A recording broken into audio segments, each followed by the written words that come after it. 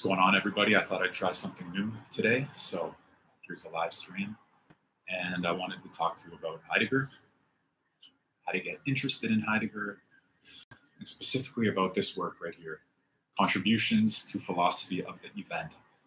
Um, more important work than Being and Time, I would say, even. But let's take a few steps back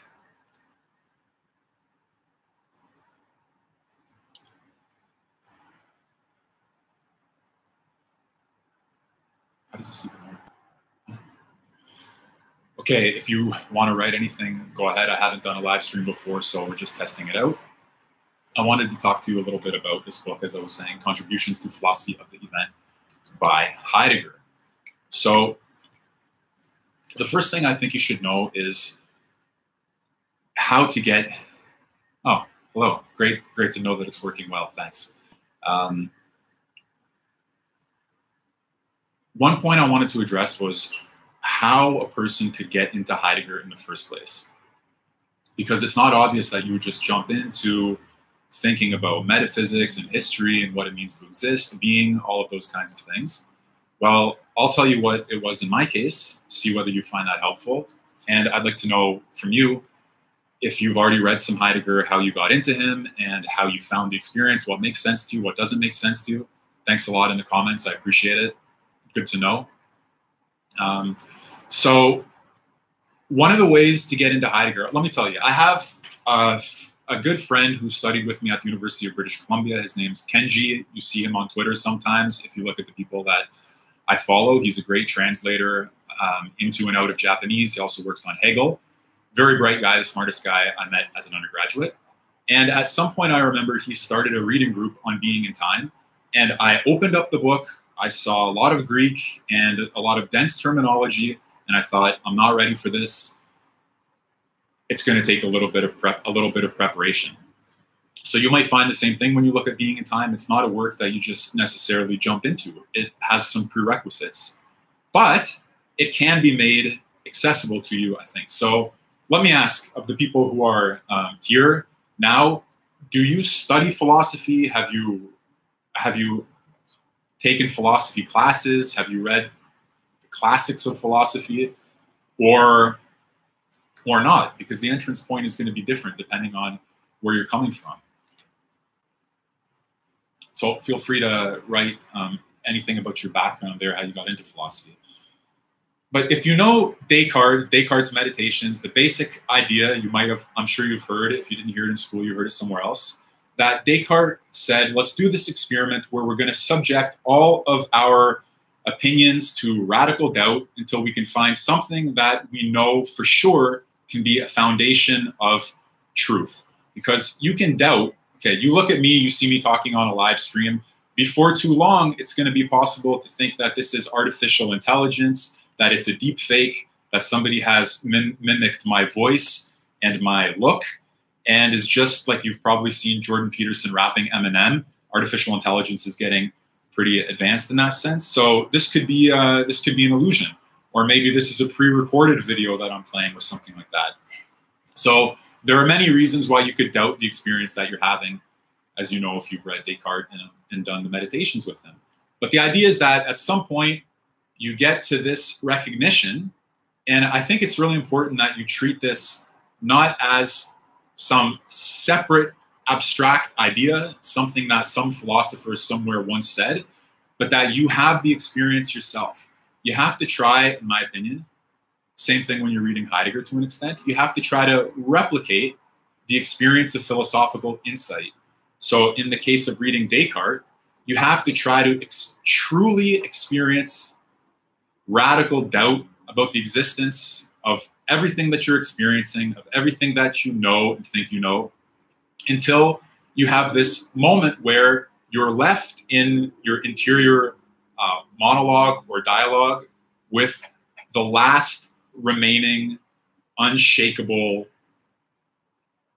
revelation to yourself from consciousness that you are you are a thinking being.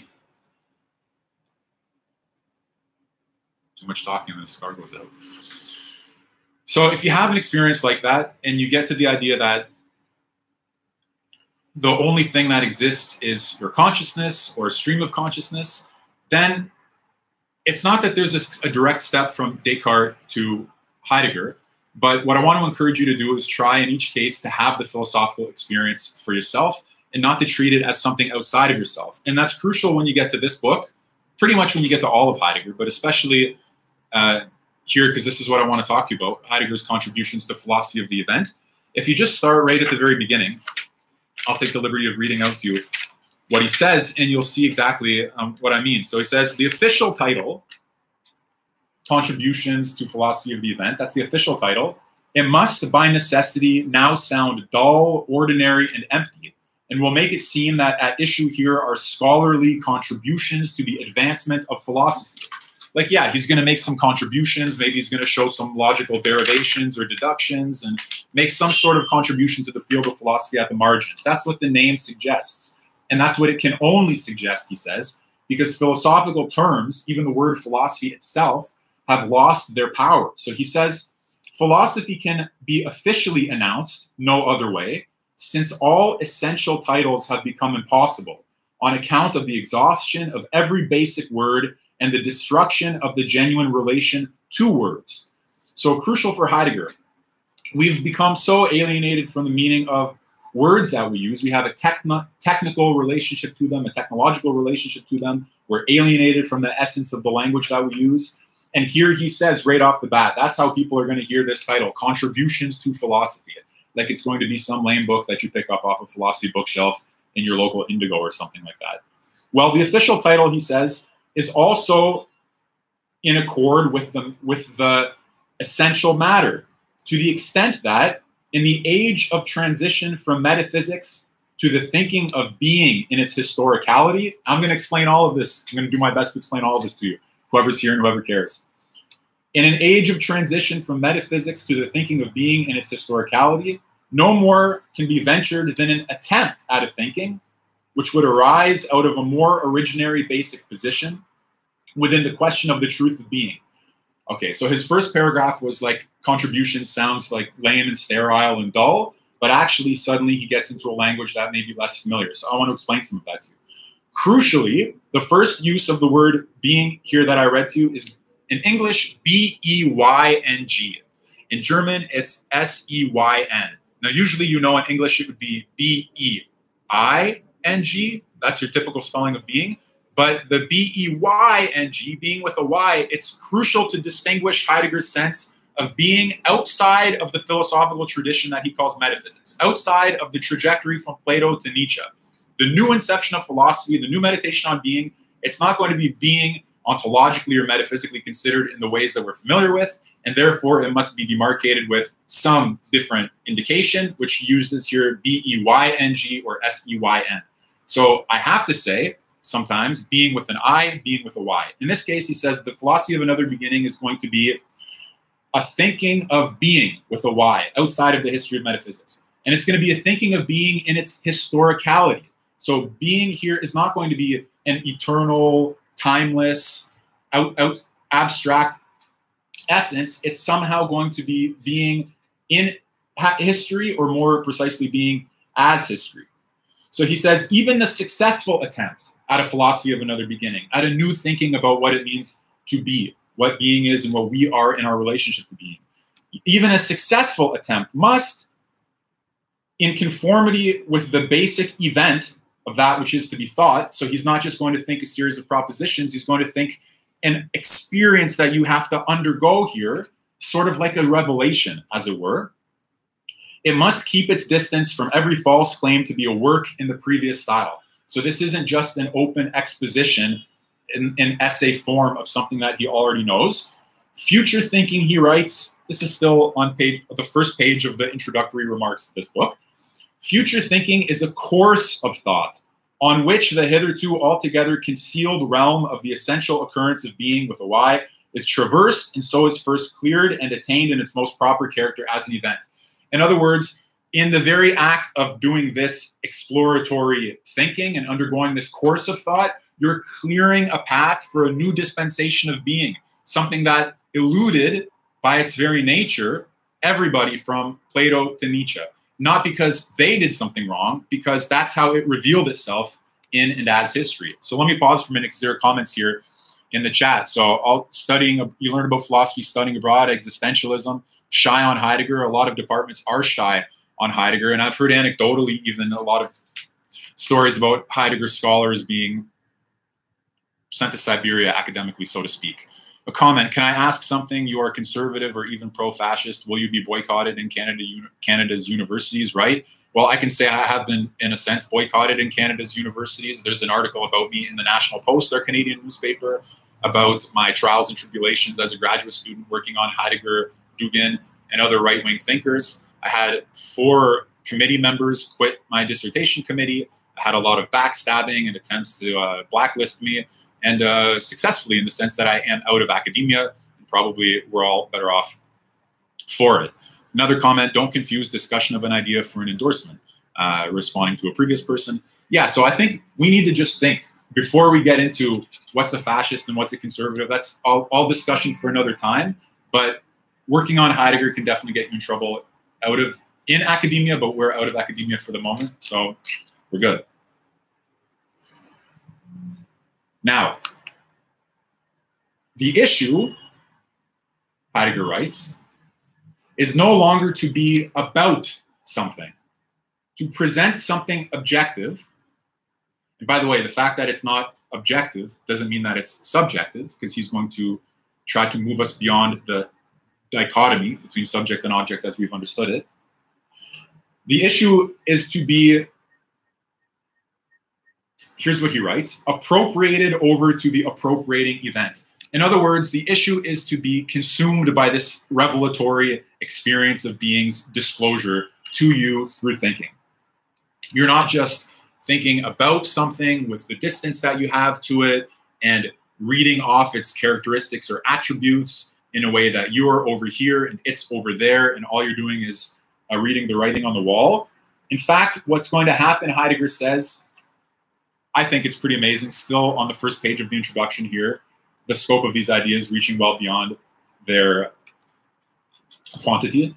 He, he says that's equivalent to an essential transformation of the human being. So that's what's at stake when you read Heidegger. Not some new piece of knowledge, but an essential transformation of the human being from rational animal to Dasein. So Dasein is something that you undergo and are conveyed to out of some essential transformation of the human being. So also what's at stake here is various definitions of what it means to be human in our relation to our understanding of being. So again, he says he's not going to be reporting on the event, but he's going to invite us and himself try to convey what it means to belong to being and to the word of being. Again, being with a Y, not the being that we know traditionally metaphysically through the Western philosophical tradition, but this new revelation, new disclosure, and new dispensation. This book promises to be somehow an articulation of the essential transformation of the human being from a rational animal into Dasein. Now I can actually move to page two. So I'm not going to go through the whole book like that. We would be here until the end of time. Let me go here. Oswald Spengler writes, have you heard of Charles Upton, author of Dugin Against Dugin? He's trying to debate Dugin as a variant to Heidegger.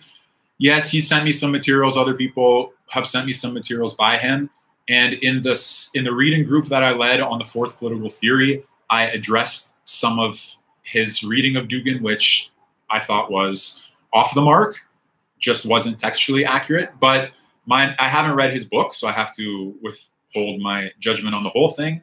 And if he's seriously studying the topic thoughtfully, which he seems to be doing, then he's probably a good resource. But my work has been on the primary sources and not so much on the commentators, except to show when they are wildly wrong, which a lot of people writing about Dugin are when it comes to his, his political philosophy.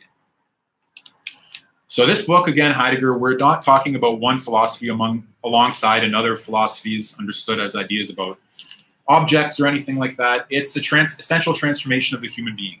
And in my opinion, which I'll share with you now, if you think about philosophy as the type of deep reflection that can culminate in essential transformation of the human being, you'll be closer to the kind of understanding of philosophy that makes some authors it's a key in a way to understanding some authors. So I wrote my dissertation in part on this topic. I thought that Heidegger, Derrida, Leo Strauss, Dugin, they all experienced philosophy as a type of human transformation or human conversion, but they differed about its nature. And so it's a good way, good access point to understanding them. And at, the very least, if you see philosophy as being concerned with the essential transformation of the human being, that puts one type of philosophy apart from a different one, which is just logical clarification of sentences using the tools of formal logic. Not that there's anything wrong with that, but it's a different endeavor. So I've bookmarked a couple of passages here that I just thought it could be interesting to point to and to comment on you know, this is an experiment for me to just go live and talk about a book that's in my hands. So thanks for being here and let's try it. On, on page 30, he distinguishes philosophy and worldview. And I think it's helpful when you hear worldview in this passage to have in mind also ideology. What's the relationship, if there is one, between philosophy and ideology? What's the difference between philosophy and ideology? But I'm going to stick to his term here worldview. Philosophy is useless, though sovereign, knowledge. Philosophy is the terrifying, though rare, questioning of the truth of being, being with a Y. Again, what is being? Philosophy is the terrifying, though rare, questioning of the truth of being. Philosophy is the grounding of truth while simultaneously being deprived of what is true. So I think I have to explain that briefly before I go on. So if what is true is just propositions about the way that the world is, it's true that it's not raining where I am. It's true, I'm sorry to say, that my cigar has gone out for the time being. Those are things that are true. But philosophy is not about what is true, it's the grounding of truth itself. And you have to know here, if you don't know, that Heidegger interpreted truth as I got to simplify and distort slightly, but as the revealing of being itself, the revealing and concealing. So think about it. Oh, my wife offering me some matches for the cigar. I have a lighter, but sure, I'll take the matches. Thanks. Heidegger meditated deeply on the Greek word for truth, which basically was uh, was a um, it's like unconcealing. Truth is the unconcealing of being. So the distinction here is between just statements that are true and the fundamental original revelation or unconcealing of being itself to the thinker. So philosophy is the grounding of truth while simultaneously being deprived of what is true.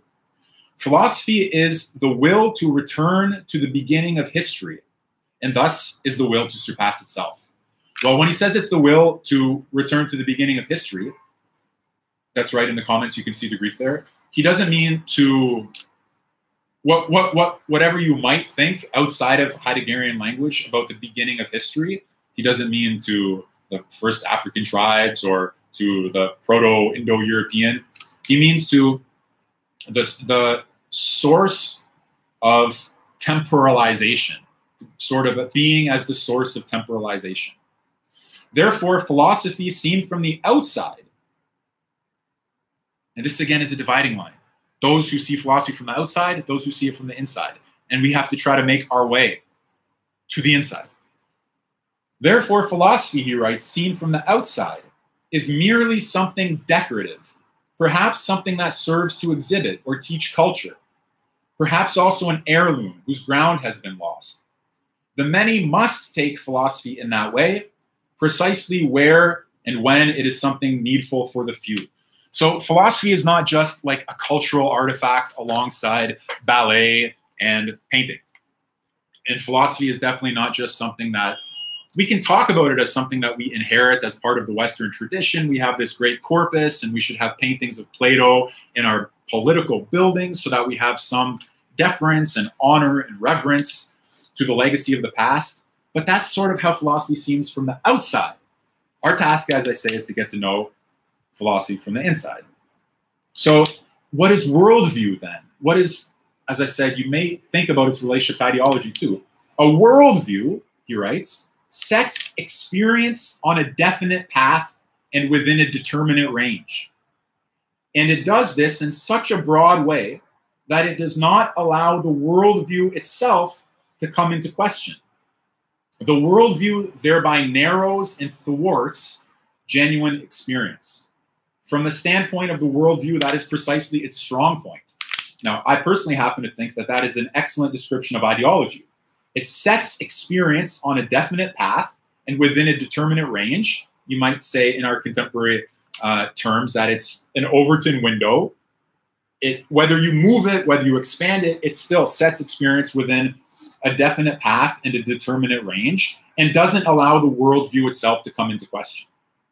By contrast, philosophy opens experience, he writes, but for that reason cannot be cannot ground history immediately. So one of the things that comes into play in this section in Heidegger is can philosophy be immediately effective? Can you just overcome the old history of Western philosophy and contemporary nihilism, come up with a system that suddenly grounds a new politics. In a sense, philosophy is so upstream from culture, as we might put it, that you can't expect any immediate results from it. Remember, he said earlier, it's useless, but it's sovereign. And there's a tension there because sovereignty exerts an influence, whereas the idea that it's useless might not make that clear at first. So, worldview constrains experience, philosophy opens experience. A worldview is always an end, mostly a long, protracted end that doesn't even know itself as an end. Philosophy is always a beginning and requires an overcoming of itself. A worldview, he writes, must forego new possibilities in order to remain one with itself. And here, too, you might think of all the old outlooks and ideologies and dogmas that can't comprehend or incorporate anything new because they otherwise they would remain themselves. They wouldn't remain one with themselves. They shut out the new experience. They shut out the new the essential transformation. But philosophy is different and philosophy can be suspended for a long time and can even apparently disappear so i'm reading the passage here for those of you who are checking in and out on philosophy and worldview and contributions to philosophy of the event both, he writes, have their distinctive times and keep themselves within history on utterly different levels of Dasein. So it's been my aim, in a way, to try to help people to see the relationship between three levels, let's say. Politics, your day to day politics of political parties and happenings and goings on, and even you might say the advances and retreats in the culture wars all of the parties who are fighting, all of the action, all of the hustle and bustle. That's one level. Another level is the level of worldview or ideology where there's some more consistent elaboration of the ideas that are being reflected at this level of activity. Because after all, there is a level of ideas that we need to think about and that we need to be aware of, and that the political level is somehow a reflection, however poor and pale.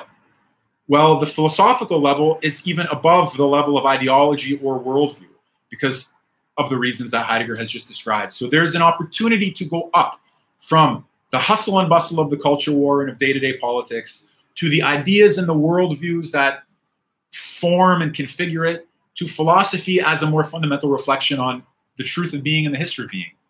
Hi, Isaac and Chad. Thanks for joining this little experiment of ours.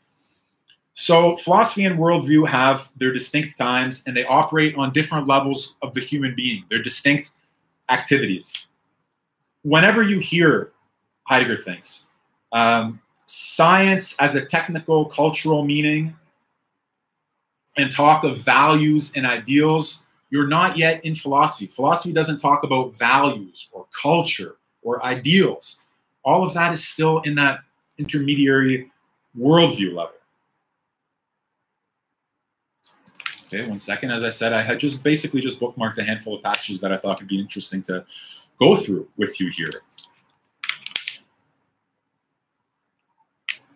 Yeah, so Heidegger believes and argues that the guiding question of philosophy can be we can recover it. We still have we still have access to philosophical questioning, but largely it's been buried and misinterpreted through epistemology and ontology. So even our even our philosophical vocabulary, even the words that make it sound like we are philosophizing or thinking about philosophy, reflecting on what matters philosophically, even those terms like epistemology and ontology, he thinks, can be misleading because they belong to that old history from Plato to Nietzsche that we need to be outside, beyond.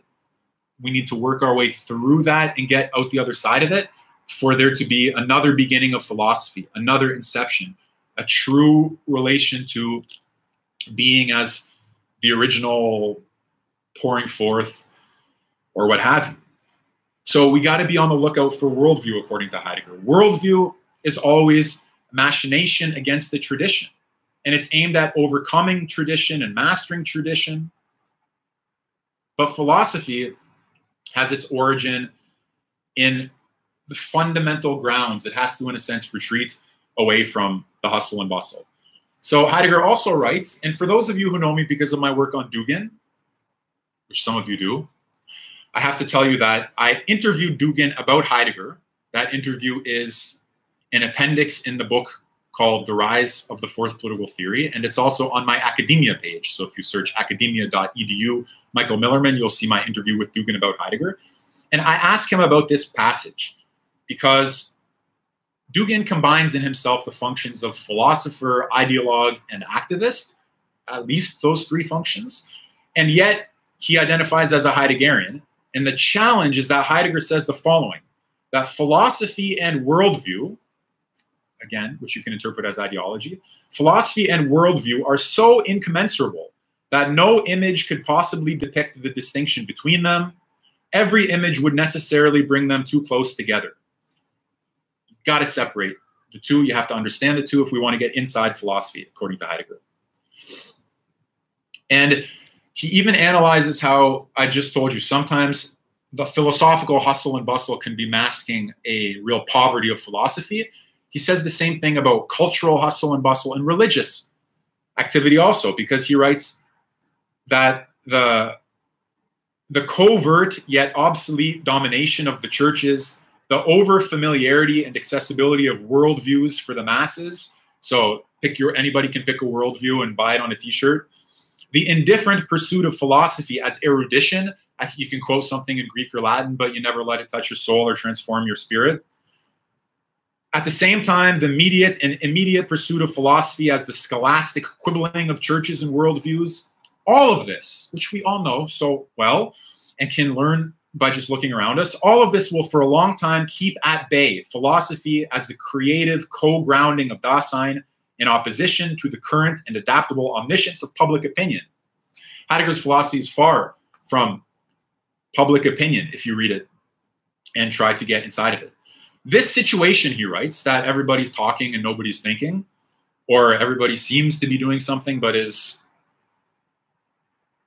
kind of like the poet who muddies his waters to make them appear deep. This situation is admittedly nothing to regret, he writes but is only a sign that philosophy is proceeding toward the genuine destiny of its essence. And everything depends, everything depends on our not disturbing this destiny. And indeed, not disdaining it through an apologetics for philosophy, which would be a machination that by necessity is always beneath the rank of philosophy. Okay, well, here we have to uh, we have to admit our guilt. We do make some effort here to make an apology for philosophy, but Heidegger says even the apologetics don't treat philosophy with its rank. It doesn't need your defense. It has its own inherent destiny that it's going to unfold with or without you. So again, this passage is drawing the sharp distinction between worldview ideology and philosophy. So what do we need if not an apology? We do need a meditation, he says, on the drawing near of this destiny of philosophy. Needful is the knowledge of that which disturbs, disfigures, and would lend validity to a mere semblance of philosophy. How is it that today something is coming to pass as thinking that is just the corpse of thinking? To be sure, this knowledge would misinterpret itself, he writes, if it allowed itself to be enticed into making that disturbing element an object of debate and refutation. We don't need a parliamentarianism of the essence of philosophy. The knowledge of the distorted essence must remain a knowledge in passing. Remember, this is not a book. He might dislike the fact that we're doing this on a live stream here and just talking about it, but it's an invitation to each and every one of you to submit yourselves to the possibility of an essential transformation of what it means to be human. Let me just go to the chat because people are writing. Uh, going to school today. I hope you enjoyed the discussion. Twitter account got nuked. Sorry to hear that. Uh, do you know what Slavoj Žižek's opinion of Alexander Dugin is? I don't. If anybody does, feel free to post it here. The introductory chapter of the fourth political theory reminds you of Mark Fisher's capitalist realism. Okay, thanks for the heads up. Haven't read it, don't know about it, but I can tell you as an aside that if you read the fourth political theory and then you read some contemporary national conservatives or critics of liberal democracy, including Patrick Deneen and others, I assume you'll see something similar if you read that book called The Demon in Democracy, which I haven't read yet. And you see some of it more or less in critics of liberalism. But Dugin has developed it in certain directions that are unfamiliar, I think, to the mainstream national conservatism discourse. So, simply put, whereas national conservatism is Anglo American in its focus for the most part, well, not, not necessarily, but it's less likely to draw on sources like Heidegger, for example, and it's certainly less likely to draw on sources like medieval Islamic mysticism, which Dugin does, at least for its imagery, but also I think for its eschatology and for its doctrine of the imagination and so on. Okay, thanks again for the nice comments there.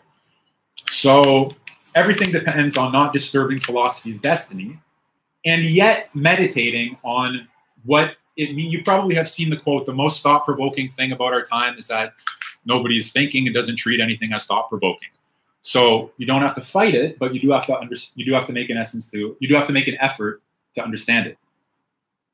The essence of worldview, he writes again, compels the formation of any worldview to waver back and forth amid the most extreme opposites, and thereby also at times to stabilize itself in compromises. The fact that worldview can precisely be what is most properly at issue for individuals, for their respective life experience, and for the shaping of their most characteristic opinions. And the fact that as a counter move to this, worldview can also step forth as total and as effacing all such opinions. All of that belongs to the essence of worldview. So even if we don't go into the into Heidegger's philosophy and we just understand his criticism of worldview and of culture and of the narrowing of, of experience and its whether it vacillates from one extreme to another all of that still belongs to its own essence and none of that is what we're trying to move none of that will get you to an essential transformation of the human being. Not that that's the goal. That's just what happens when you start to think as heidegger believes it is the human destiny so to speak to do to think about not even to think about but to think being to think the truth of being a lot of stuff going on in the chat. That's great. So I would just want to read to you still from that same section here. Just these passages are so beautiful, truly beautiful. I'm going to try to slow down and read them so they can resonate with you. Any attitude which, as total, claims for itself the determination and regulation of every kind of acting and thinking, must ineluctably take everything else that might step forth as necessary and consider it to be hostile and even degrading. You can get so much out of that passage. Anything that calls a, total, a, a totalitarian in the sense that is a total discourse, a total worldview, a total ideology, anything that challenges it, pokes it from the outside, somehow finds a gap or a crack, is regarded as hostile or degrading. You all know that. How could it even be acceptable to a total worldview that such a thing is even nearly possible. You see why I got in trouble, I would say, at the University of Toronto for working on Dugin wasn't because I was a proponent of his thought, so much as I was entertaining the possibility of his thought. And here, Heidegger writes very clearly, you can't even entertain the possibility of a total worldview being wrong without it treating you as hostile and degrading.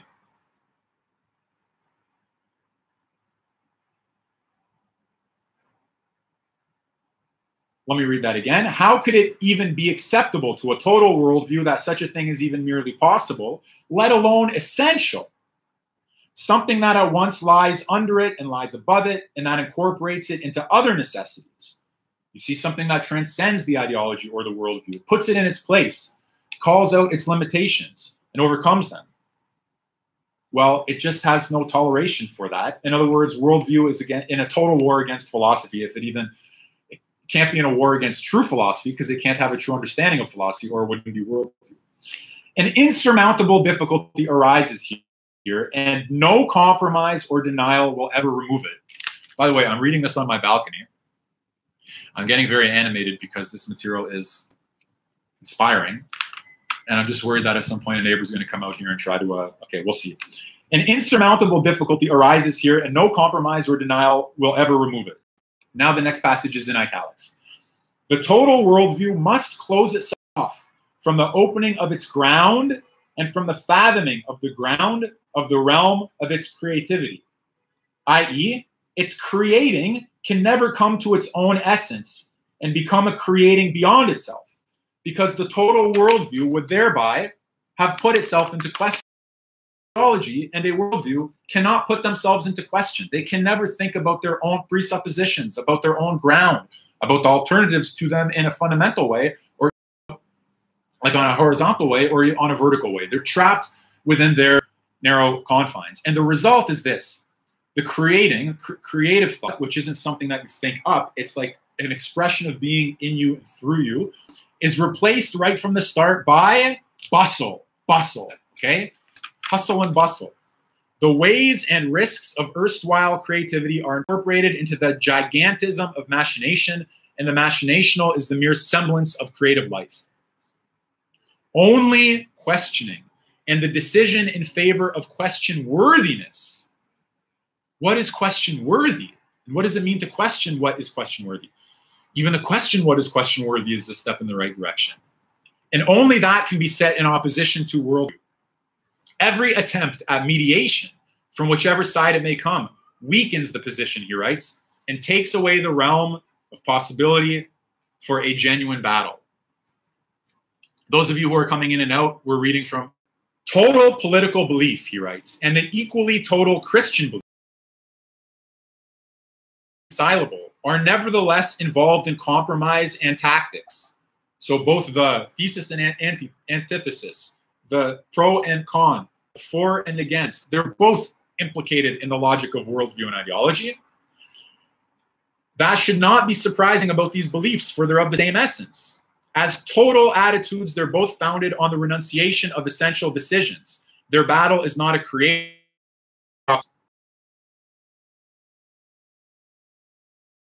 And indeed, it above all claim the total especially if we define philosophy as long as we're thinking in the form of the previous philosophy, metaphysics, and are taking this philosophy as it was molded by Christianity and by the systematics of German idealism. So the first opposition is between philosophy as the original.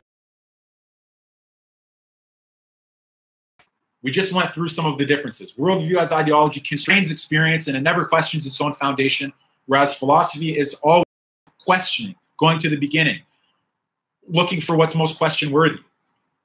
And yet, philosophy, as it as we have come to know it, belongs to worldview.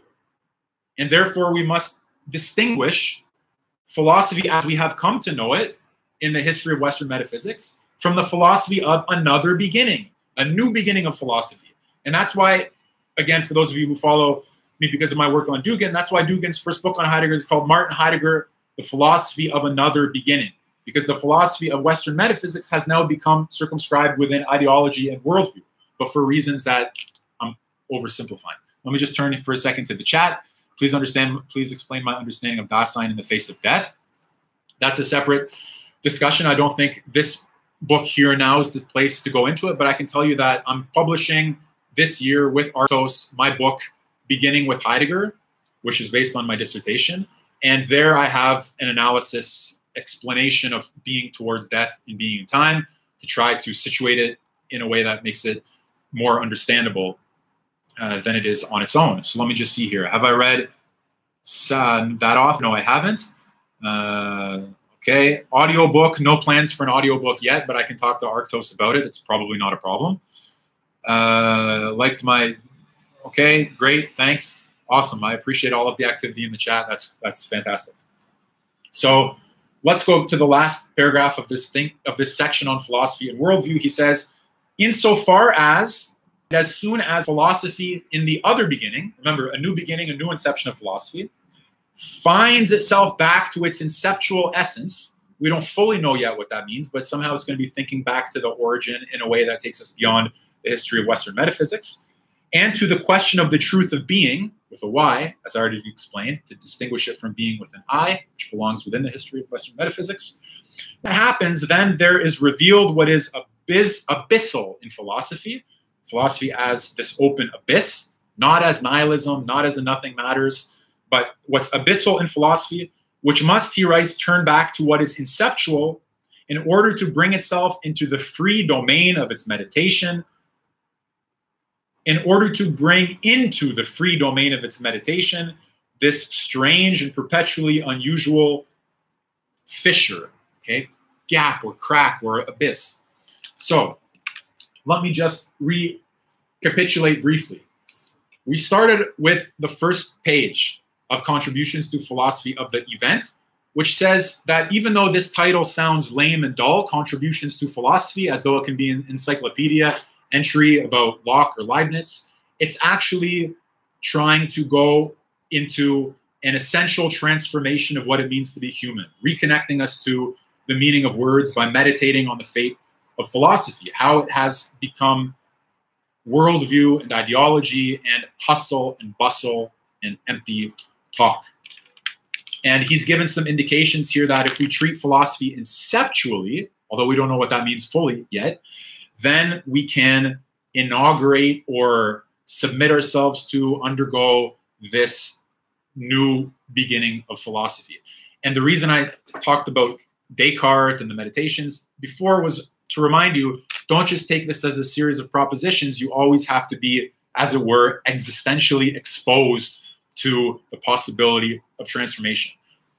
I can tell you that, in my opinion, when you read any philosopher worth his while at a fundamental level, you always have to read him with a willingness to be fundamentally transformed.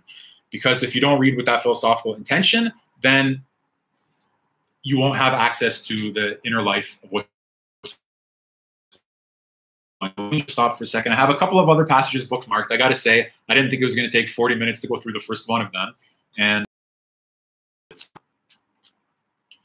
crucially, if you think that Heidegger has might have something to offer, after all, Derrida, Strauss, Dugin, Heidegger, Levinas, many, many people, Foucault, they all thought that this was a historical event. Heidegger was a historical event. He was, he was our destiny in some way. And it's worth for trying to think about what he says and what he thinks is important. And he thinks that meditation on philosophy constitutes an important task for philosophy. So here's what he says. Section 19 is called Philosophy on the Question Who Are We? By the way, is this okay for everybody? Hopefully, it sounds okay and is somewhat interesting. As I said, this is a first experiment. I'm enjoying it. Philosophy, who are we? In other words, you might reflect on yourself in order to find a basis for certainty, but he thinks that you must reflect on yourself. Oh, sorry, I said there was a connection problem, so I'm going to say that again. He says you might reflect on yourself in order to find a basis for certainty, somewhat like Descartes did when he was trying to find an unshakable foundation for truth. But he says if we're going to do this with Heidegger, then reflection on the self must be for the sake of the truth of being. The same is true in being time and the analytic of Dasein. It's carried out for the sake of the question of the truth of being. We examine Dasein because we treat it as a window into what being self might be. We're the being for whom being is a question.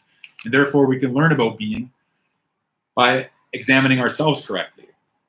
So he writes further the exposition of this ground, the ground of our own being, reaches back into a still more original realm than is the realm which had to be broached in the transi- transition by the initial determination assigned in the fundamental ontology of being and time. In other words, what he's saying here is that don't stop at being in time. Being in time was a transitional thinking into the truth of being that we must go beyond. It's a determination, nevertheless, that even now has not been sufficiently unfolded and made prominent in the knowledge of those who are questioning. So, according to the matter of things, we have to go beyond being in time, for example, to the contributions. And yet, many people haven't even begun to approach being in time correctly. And there, too, philosophy turned into bustle. Sorry to hear that the stream was cutting out. Hopefully, it's working better now. So, insofar as, according to the originary exposition of the ground of the essence of meditation, as meditation on oneself, he writes, we ourselves are transposed into the realm of questioning, then from this point of view, the philosophical question can be posed in the form, who are we? So, again, meditation on ourselves for the sake of access to the question of the truth of being. And yeah, look, this is going to be interesting disregarding the question, he writes, of the who. So we start with the question, who are we? Who are we? But discarding for a minute the question of the who, he writes, which ones do we mean in speaking of we? So not who are we, but who are we? What's the we here at first? Ourselves, those at this moment, objectively present, those here and now, in other words, me and you, or what? But where would the enclosing circle be drawn? Or do we mean the human being as such? So does the question, who are we, mean who are we, the human being? And yeah, he says the human being is a his, is somehow historically determined. And again, not historically by the culture of this or that place, but by being as history. Our conception of what it means to be is itself history. I know it's not so easy to understand, but let's go on for a minute. Do we mean ourselves as this particular people? Who are we, the French? Who are we, the German? Who are we, the Jews? Who are we, the Canadians? Who are we, the Spanish? Who are we, the Italian? Is that what we mean? Heidegger asks. Do we mean ourselves as this particular people? Even then, however, we're not the only ones, but are a people with other peoples. And how is the essence of a people determined? It is clear at once, he writes, the way in which the questioned, namely the we, is initially established in the question already contains a decision about the who. So in in every definition of the of ourselves as a group or community, we've already presupposed some understanding of being, some relation to being, some determination of being. That means we cannot, untouched by the question of the who, postulate the we and the us as, so to speak, something objectively present to which only the determination of the who would be lacking. You can't take the group for granted. Even this question cannot be asked or answered straightforwardly. And yet, as long as the essence of philosophy is not grasped as meditation on the truth of being, and as long as the necessity of the meditation on oneself, which thereby arises, has not become effective, the question as a question is already exposed to severe misgivings.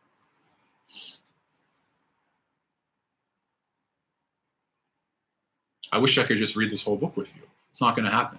But philosophy, he does believe that philosophy is always the philosophy of a people. And yet you can't take for granted what that means to say people. And he opposed the biological determination of peoplehood. He was very critical of Nazi biologists.